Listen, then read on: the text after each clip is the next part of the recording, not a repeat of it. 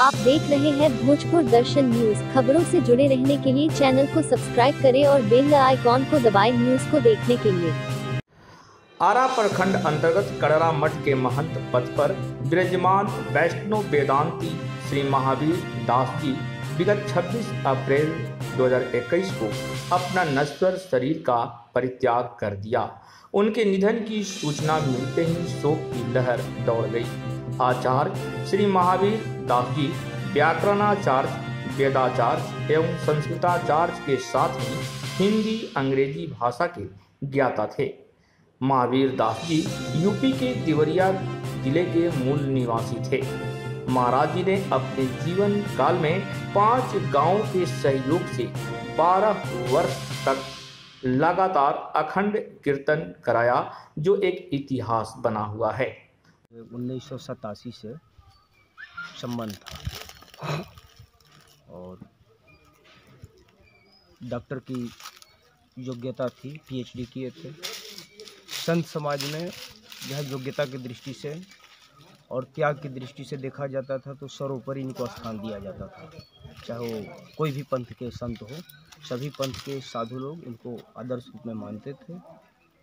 कुछ वर्ष पहले जो ये मंदिर का निर्माण महाराज जी कराए हैं। ये बिहार के एक अजूबा मंदिर में बना है।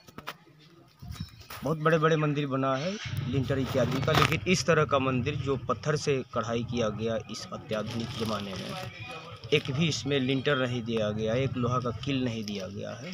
बहुत अभूतपूर्व ये मंदिर बनाए, निर्माण किए हैं। और जिस समय महाराज जी यहाँ आए थे, मठिया का मात्र चार बीघा ज़मीन था। जी।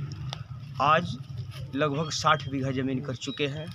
आलिशान इमारत यहाँ पर बलिया में और कड़ारी गाँव में, इत्यादि इत्यादि में। और कितना कमी खलेगा उसके बारे में मैं क्या बताऊँ?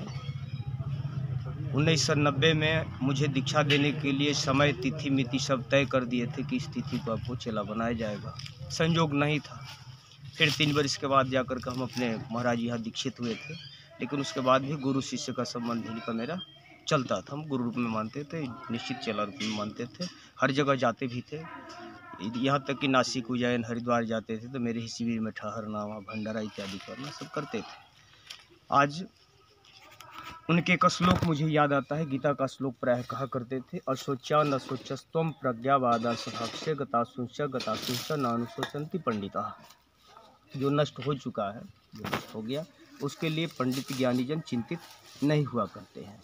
ये महाराज जी के बिल्कुल त्यागनिष्ठ की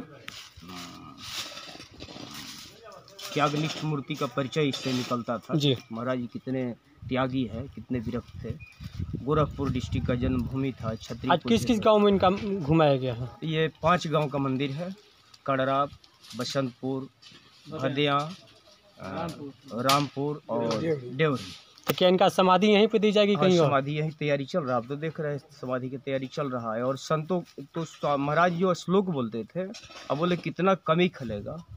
ये जान लेना चाहिए कि संत लोग मरते हैं तो शोक नहीं मनाया जाता है। संत लोग मरते हैं तो उत्साह मनाया जाता है उत्सव मनाया जाता है। इसमें भगवान का हर कीर्तन किया जाता है सहस्र गीति का पाठ किया जाता है विष्णु सहस्र सहस्रनाम का पाठ किया जाता है गीता भागवत वाल्मीकि रामायण इत्यादि इत्यादि। तो हम सब के लिए ये शोक का लहर नहीं है। महाराज जी जो गए हैं, इनके लिए जितना प्रसन्न होकर के उत्सव मनाते रहेंगे, भंडारा के दिन तक, उतनी अच्छी बात है। ठीक।